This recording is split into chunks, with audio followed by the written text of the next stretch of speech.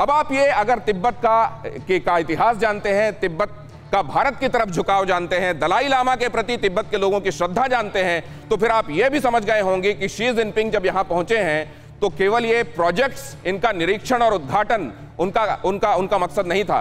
उल्टी किस, कैसे पड़ रही है? लेकिन ड्रैगन देखिए, हमेशा अपने आप को डेढ़ शाना मानता है, हो क्या रहा है? जनरल जीडी बख्शी ये सवाल लेकर मैं आपके पास आने वाला हूँ, ये डेढ़ शाणे लोगों का होता क्या है ये समझने के लिए? लेकिन उससे पहले साजिश और क्या हो रहा है उसके साथ? तिब्बत पर दावा किया उसने। अब निंगची जाकर गिड़गिड़ा रहा है कि हमारे साथ आ जाओ। पहले कब्जा कर लिया आप कह रहा हमारे साथ तो आ जाओ, हमारे तो बन जाओ। साजिश, अरुणाचल में बाँध बना रहा है और मुँह के बल कैसे गिरा है कि बारिश ने एक हज़ार साल का रिकॉर्ड तोड़ा है। कुदरत भी सजा दे रही है, किए हुए का रिकॉर्ड रख रही है। पानी रोकने का प्लान किया ज़्यादातर हिस्सा बाढ़ में डूब गया है और यह बता रहा है कि अगर नदियों से एक हद से ज़्यादा छेड़छाड़ होगी तो भुगतना तुमको भी पड़ेगा। पाकिस्तान में सीपेक पर काम, चीनी इंजीनियर्स की हत्या काम बंद जो इंजीनियर काम कर रहा है, वो भी देख लीजिए किनारे। एक तरफ़ वो सड़कों का निरीक्षण कर रहा है, दूसरी तरफ़ कंधे में बंदूक है, न जाने जान पर कब बन जाए। तालिबानियों को हथियार दिए गए और अब अफगान से अपने कर्मचारियों को वापस बुलाना पड़ रहा है उसको। तो जो उसने किया है, आखिरकार उसको भुगतना पड़ रहा है जीडी बख्शी साहब। लेकिन अब ये जो उसकी विस्तारवाद की नीति है इंफ्रास्ट्रक्चर डेवलपमेंट तिब्बत के लोगों को अपने साथ भरोसे में लेने की कोशिश, इसका इसका हश्र क्या देखते हैं सर आप? देखिए साहब, ये जो बेगोक डैम है, जो न्यांची में ब्रह्मपुत्र के मोड़ पर, यारलुंग सांगपो के मोड़ पर, इतना भारी डैम जो वो बना रहा है, अपने आप में ये विवाद का भारी विषय है।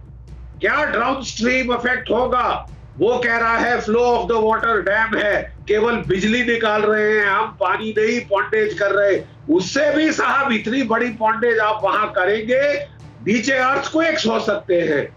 और वो जो है, पूरी ब्रह्मपुत्र की फ्लो में इफ़ेक्ट पड़ सकता है। बाढ़ में के सीज़न में भयानक, भीषण असम में तबाही मच सकती है। ये अपने आप में एक वो है।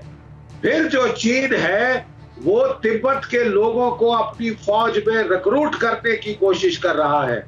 आपको याद होगा, उसकी fourth highland motorise division six mechanise division, जो वो शिंजियांग से लद्दाख के सामने लाया था, उनकी हालत, उनकी बत्ती बंद हो गई ठंड में। उनको अब हटा के दूसरी नई फ्रेश डिवीज़न लाई गई है और वो तिब्बत के लोगों को रिक्रूट कर रहा है।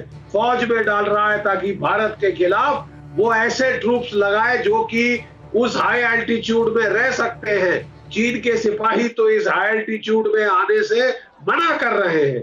आपने वो वीडियो देखा होगा जब वो धड़े मारकर बच्चों की तरह रो रहे थे जब हुक्म सुनाया गया कि आप इंडिया के बॉर्डर पे जाओगे। ठीक है साहब? वहाँ कुछ जो है पक रहा है वो अच्छा नहीं है। हमको सतर्क रहने की बहुत ज़बरदस्त ज़रूरत है। जो दाल में कुछ काला है let's be very clear let's be very clear जो कुछ वहाँ पक रहा है वो ठीक नहीं है लेकिन अब दो चीज़ें हैं। ये आपने आपने ये ये बात बिल्कुल सही कही और मैं ये मानता हूँ कि जब आप ये कह रहे हैं तो निश्चित रूप से हमारा हमारा जो एस्टेब्लिशमेंट है वो इसको प्रोएक्टिवली देख रहा होगा। लेकिन के के सिन्हा साहब आपके पास एक बात समझने के लिए आ रहा हूँ। क्या तिब्बत के लोगों को कॉन्फिडेंस में लेने की मंशा भी है इसमें? और अगर ऐसा है तो इसमें कामयाब होगा क्या? चीन। देखिए दिनेश साहब चीन दो चीज़ें बहुत कर रहा है और सी जिनपिंग का ये प्लान है वो कर रहा है कि जो बुद्धिज्म है वो वो चाइनीज़ बुद्धिज्म में कन्वर्ट कर रहा है पंचम लामा का जो लफड़ा है जिसको हम्म। अभी पूरे विश्व के अंदर में और देखिए दलाई लामा साहब तो हम चला रहे हैं मगर हमने तिब्बत कार्ड को उतना नहीं खेल पाए जैसा खेलना चाहिए था हम्म। मगर जो पंचम लामा का लफड़ा है जिसमें यूनाइटेड स्टेट्स काफ़ी बड़े तेज़ी से आया है तो ये वहाँ के लोग नहीं मानेंगे। मगर आप ये मान के चलिए कि जितने भी वहाँ पर गोमपास थे जितने भी बुद्धिज्म के साइंस थे उनको उसने बदल दिया है बाय फोर्स और जितने भी जितने भी वहाँ पर मॉन्ग थे जो बुद्धिस्ट मॉन्ग थे hmm. जो कि भारत के साथ एक्चुअल तो जो मोनेस्ट्री का दौरा भी अभी हुआ है वो कई मोनेस्ट्री भी गया है ये भी पता चल रहा है कि शी जिनपिंग का दौरा कई मोनेस्ट्रीज में भी वहाँ आसपास की हुआ है।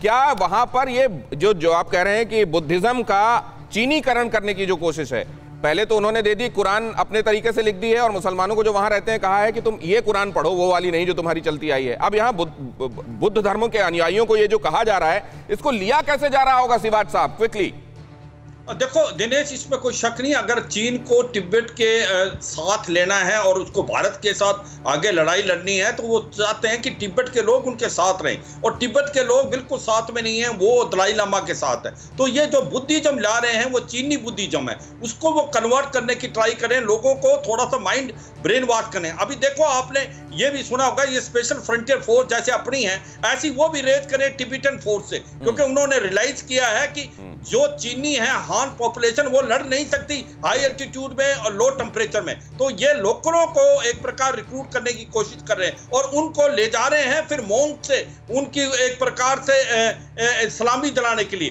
तो मेरा मतलब यह है कि ये कन्वर्ट करने की कोशिश करें तिब्बत का जो बुद्धिज्म है उसको चाइनीज़ बुद्धिज्म की तरफ़। मगर वो सक्सेसफुल नहीं होगा लोग नहीं चाहते लोग दलाई लामा को चाहते हैं मगर कोशिश पूरी है चीन की। और हम्म। चीन चाहता है कि किसी तरीके से जो तिब्बत की पॉपुलेशन है। धीरे धीरे उसको एक तो उसकी डेमोग्राफी चेंज की जाए और एक जो टिबेटन को फौज के अंदर डाला जाए।